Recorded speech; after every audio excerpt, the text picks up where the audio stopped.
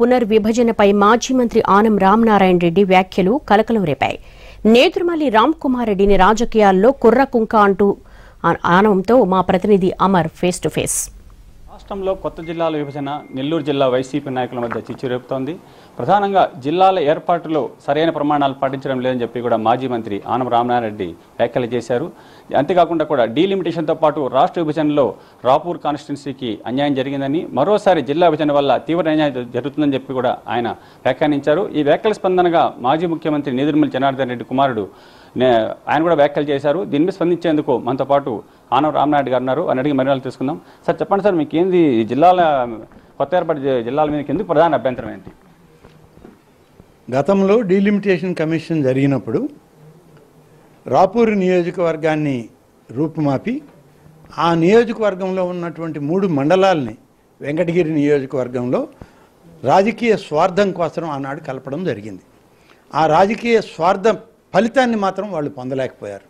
వాళ్ళకి వ్యతిరేకత వచ్చింది ఈ మూడు మండలాల్లో మేమందరం కలిసి కొంత మెజారిటీ ఇచ్చినా అసలు ఉన్న స్థానంలోనే పోగొట్టుకున్నటువంటి వాళ్ళు మరి ఆ నియోజకవర్గాన్ని చేసి ఈ మూడు మండలాల ప్రజల్ని మనసుల్ని గాయపరిచారు.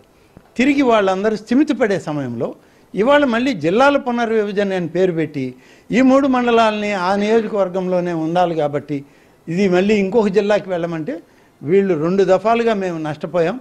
మళ్ళీ నష్టపోయేటువంటి దానికి సిద్ధంగా లేము.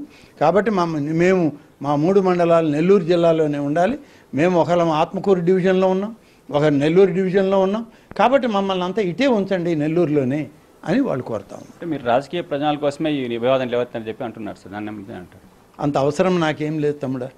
ఈ జిల్లా అయినా ఒకటే నాకు ఆ జిల్లా అయినా ఒకటే అవతల పక్క జిల్లా అయినా ఒకటే రాజకీయ ప్రయోజనాలు అయితే. మూడు జిల్లాల్లో నేను ఎక్కడైనా పోటీ చేయగలను ఎక్కడైనా గెలవగలను. నాకు ఆ శక్తి ఉంది. మీరు ఏ విధంగా పోరాటం చేయబోతారు సార్ నెక్స్ట్ ఇష్యూని? వాళ్ళ ఇంకే గవర్నమెంట్ సాల్వ్ చేయకపోతే అంటే లోక్సభ ప్రాతిపదికన చేస్తాము కంపల్సరీ కాన్స్టిట్యున్సీలో మూడు పార్ట్ ఉంది కాబట్టి చేయలేమంటే నెక్స్ట్ ఏంటి సార్? మీరు రాజీనామా చేస్తారా లోక్సభ ప్రాతిపదికనే చేస్తాము అని అన్నప్పుడు లోక్సభ ప్రాతిపదికనే చేయాలి.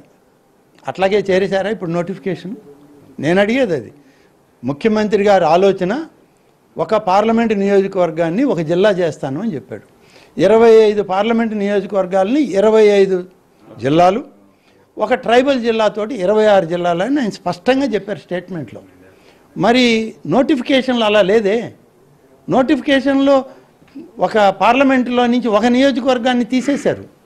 ఒక నియోజకవర్గాన్ని తీసేదానికి డీవియేషన్ వచ్చినప్పుడు మూడు మండలాలను తీసేయడానికి ఎందుకు డీవియేషన్ లేదు? ఆలోచన చేయండి మీరు కూడా. కేవలం ఎవడో ఒకటి చెప్పాడని కాదు. కనీసం ఆలోచన చేసి చేసే మనుషులను అడగండి. ఒక డీవియేషన్ జరిగినప్పుడు రెండో డీవియేషన్కి ఒప్పుకోండి. ఏమి ఒక డీవియేషన్ చేయడానికి అంత ప్రత్యేక ప్రాధాన్యత ఏంటి? జిల్లాల పునర్జన మీద ప్రభుత్వానికి మరోసారి నివేదిస్తామని తర్వాత ప్రభుత్వం నుంచి స్పందించిన తర్వాతే తగిన పోరాటానికి కార్యాచరణ రూపొందిస్తామని చెప్పి కూడా ఆనం అంటున్నారు. అంతేకాకుండా కూడా నేదురుమల్లి రామకుమార్ చేసిన వ్యాఖ్యలను కూడా ఆయన తీవ్రస్థాయిలో విమర్శించారు. ఆయనకు అనుభవం లేక అనుభవ రాహిత్యం వల్ల ఇలా మాట్లాడుతున్నారని చెప్పి కూడా ఆనం అంటున్నారు. వీడియో జర్నలిస్ట్ ప్రదీప్తో అమర్ ఎన్టీవీ నెల్లూరు.